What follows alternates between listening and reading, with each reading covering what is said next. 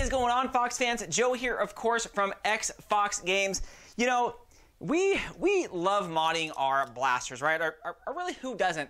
Who doesn't like to kind of mod their blaster to make it shoot maybe a little bit quicker, maybe a little bit faster, a little bit straighter? And there are some iconic blasters that we have like that, right? It is the Nerf Jolt. It comes in all different kinds of color schemes and yeah.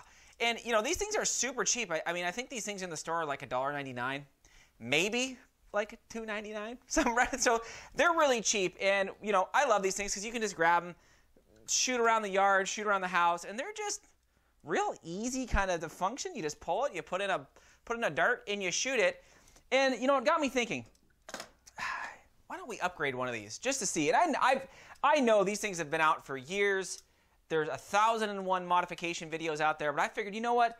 I'm going to take you along my journey to modifying one of these by just kind of, you know, removing as much as I can of the air restrictor and then upgrading the spring. What can we get this thing to?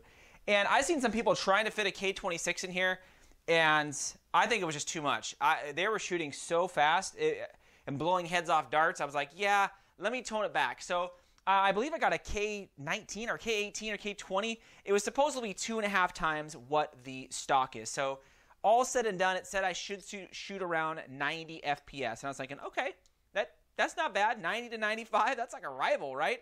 So I went ahead and took my Jolt here. And uh, again, you guys can check out the spring. I'll pull it up here.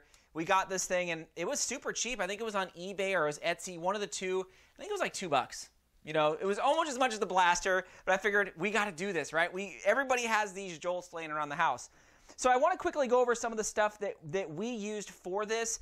You don't need all of these tools, but I just kind of want to go over it so you can kind of get prepared if you want to do this. Now, again, you guys may have better ways to upgrade your jolt, and if you do, leave it in the comments because I'm curious on how you know you guys modified your jolts because I've seen a lot of you guys do it. So you can see here, yes, we got double jolts that we are we're going to modify one of them. And then the other one we'll kind of use as a reference so you guys can see. We got some new silicone lubricant because you're going to probably need to re-silicone the inside after you're digging around and everything. got needle nose. We got some clippers. Now, I didn't need these snips, uh, and I'll tell you why in a sec here. We got uh, a wrench you could use, just a, a manual one. I always love my, yes, my Skills automatic one's great.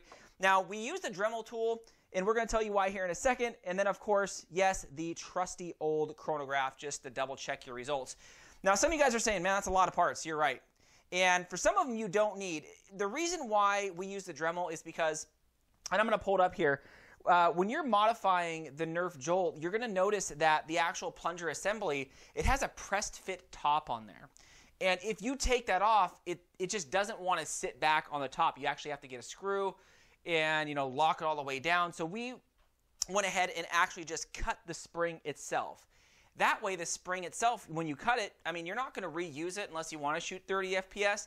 So we went ahead and just cut the spring so you can just twist it off and twist the new one right back on. Super simple. That way you don't got to go to the store or go find a screw that you want to screw in on the top. Now, again, you know, four or five different things you can use. Not too many, completely up to you. So let's get into this. So I'm going to pull this here up on the screen and kind of show you again my Nerf and the plunger assembly.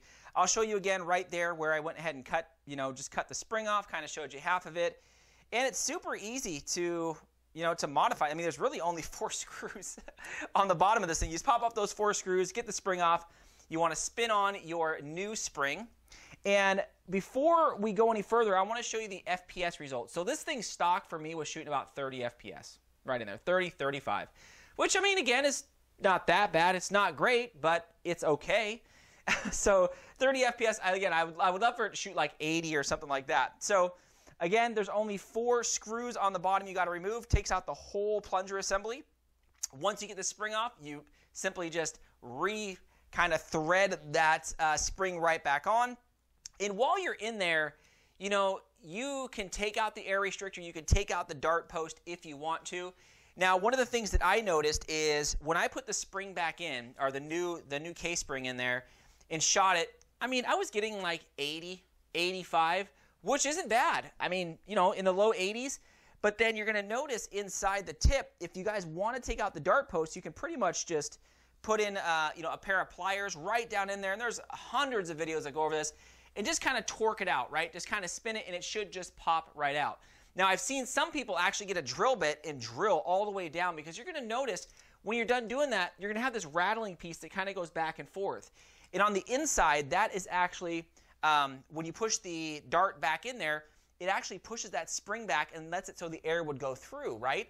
So you can actually go in through the bottom with your pliers, grab that spring, and kind of just pull it out. And I'll show up the spring here.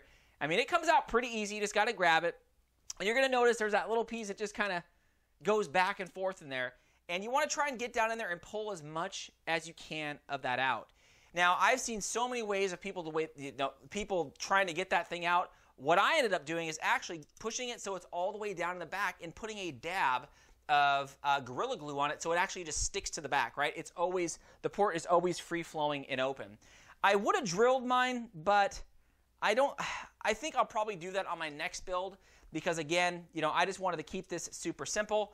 And some of you guys are probably going, okay, well, what does this thing shoot now that you, um, you know, you modified it with the air restriction delete and you put the, or you, you updated the actual spring. So check it out here, man. I was hitting 95 all day long. So I'm going to show you the stock one there. I'm going to show you the updated one here. And this thing was just shooting lasers, right?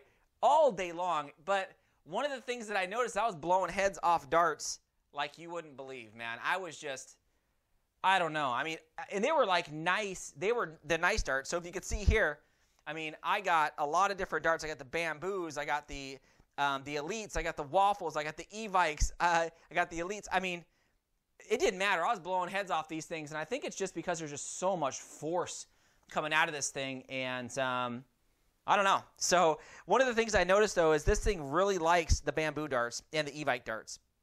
Um, the bamboo darts have always consistently performed for me um, on any of my on any of my blasters that I have. So if you really want this thing to shoot fast, I mean, pick up the bamboos. You know, the elite darts are great. The waffle heads are great. I mean, it just is a bruiser now. So hopefully this guide and kind of overview of how you can update the Jolt kind of help some of you guys out. It is very straightforward to update this thing, and hopefully you guys will kind of upgrade it like mine. I personally would go down to a lower level spring, maybe have it shoot like 80 without doing the air restrictor. And I didn't have any dart head blow offs, but once I took that air restrictor out and kind of locked that little um, little plastic piece in the back there, dude, this thing was just is a bruiser. Anyways, let me know what you guys think of this. If you guys have updated your jolts, let me know. I would love to know the FPS that you guys are getting with what springs you put in there.